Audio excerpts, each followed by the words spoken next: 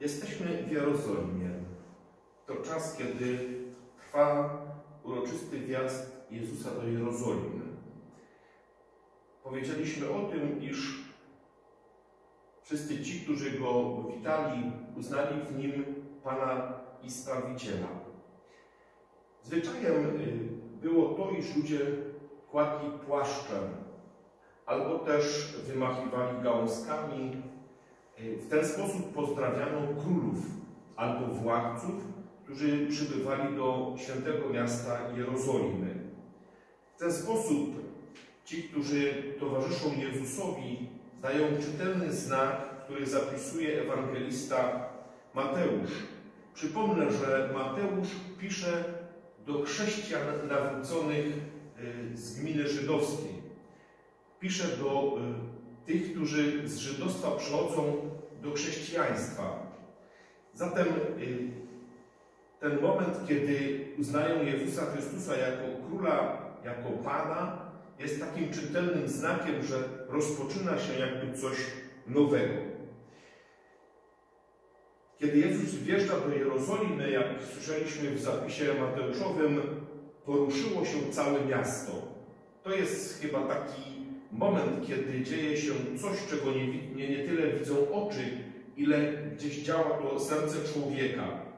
Myślę, że każdy z nas w swoim życiu religijnym doświadcza takich momentów, kiedy wydawałoby się, że dzieją się rzeczy zwykłe, a jednak porusza się serce i człowiek zupełnie inaczej funkcjonuje. Pytają, kto to jest? Y, zadziwiające jest to, że nie mówią, że jest to król, że jest to pan, ale mówią tak z taką dużą rezerwą, że jest to prorok z Nazaretu w Galilei. Taki jest mniej więcej zapis y, Ewangelii Mateuszowej, którą przeczytaliśmy na samym początku.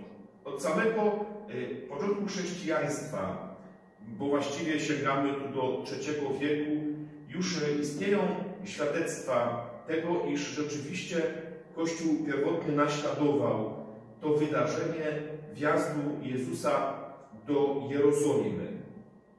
Bardzo często mamy świadectwa pisane już przez taką pątniczkę Egenię, która y, żyła w drugiej połowie IV wieku. Pisze ona, iż była uczestniczką takiego niesamowitego, takiego niesamowitego wydarzenia religijnego, jak przejście, procesja, taki swoisty pochód właśnie z Betwagę aż do Jerozolimy. E, bardzo często w tym czasie modlono się, ta procesja trwała długo, dlatego że ta odległość była Y, kilkukilometrowa. Ponadto ludzie szli powoli, y, modlili się, śpiewali hymny. Owej procesji zazwyczaj przewodniczył jakiś dostojnik religijny, który poruszał się siedząc na osiołku. W tradycji Niedzieli Palmowej, sięgającej do tego wydarzenia wjazdu Jezusa do Jerozolimy, pojawiają się także palmy. To zawdzięczamy Kościołowi francuskiemu, który już w VIII wieku e, praktykował tego typu procesje, naśladując Jezusa wjeżdżającego do Jerozolimy. E, ludzie nosili z sobą palmy, e, poświęcano czy błogosławiono te właśnie gałązki palmy. Trochę inną rzeczywistością cechowała się liturgia rzymska, bowiem w Rzymie w tym czasie odczytywano mękę pańską. Po kilku wiekach obie te tradycje niejako złączono, dlatego też to, co dzisiaj mamy, zadziwiające jest być może czasami, czy zastanawiające, że jest uroczysty wjazd Jezusa do Jerozolimy, jest taki triumfalny powód, a z drugiej strony w czasie liturgii odczytuje się właśnie mękę pańską zapisaną przez y, trzech ewangelistów, przez Ewangelie synoptyczne Mateusza, Łukasza i Marka.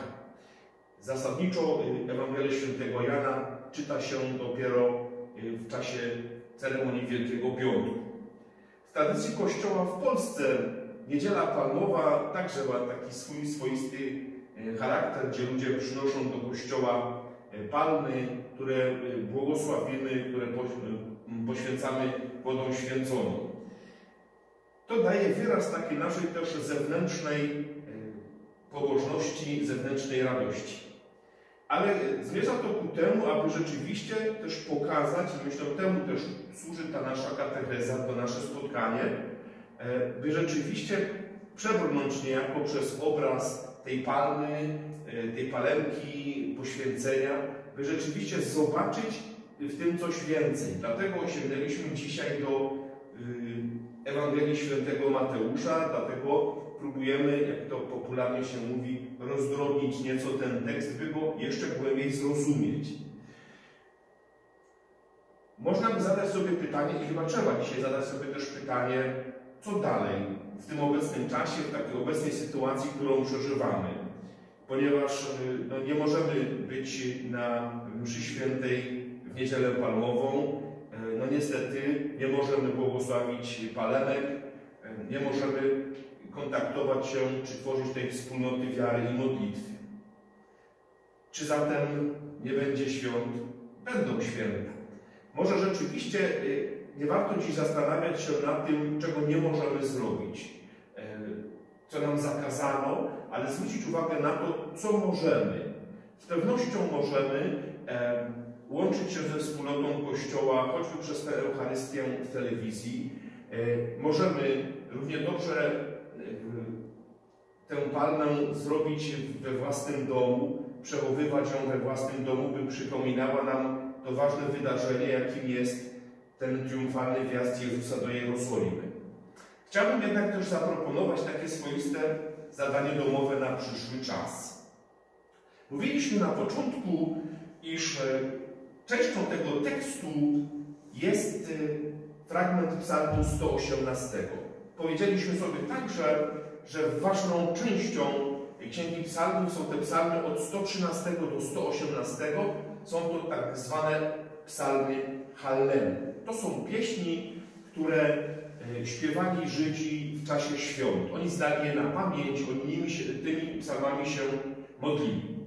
Może e, rzeczywiście byłoby dobrze dla takiego własnego też życia duchowego co dzień przeczytać jeden z tych psalmów, począwszy od psalmu 113, a skończywszy na psalmie 118. Dziennie jeden psalm. Może go przeczytać rano, w południe, wieczorem. Może w chwili czasu rzeczywiście zastanowić się na tym. To są psalmy, które wielbią Boga. Wielbią Boga za to, y, że jest, za to, że ten naród nieustannie utrzymuje, nim się opiekuje, to jest tak pieśń wdzięczności za to, co Bóg daje.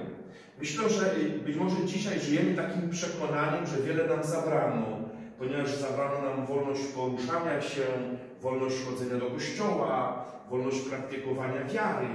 Ale z drugiej strony może to jest też taki czas naszego oczyszczenia. To jest taki inny wielki post.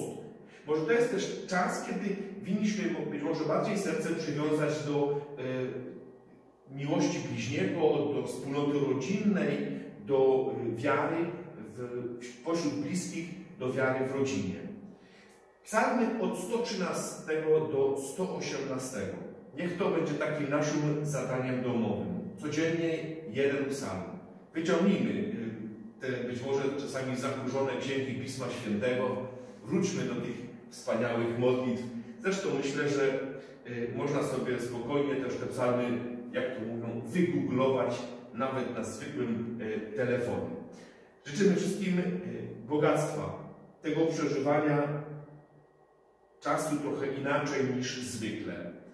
Przeważnie przychodziliśmy do kościoła, byliśmy uczestnikami.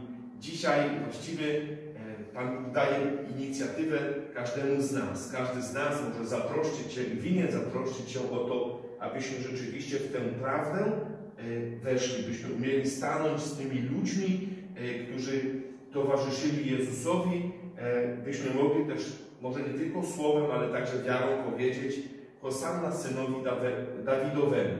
Hosanna znaczy wybaw nas.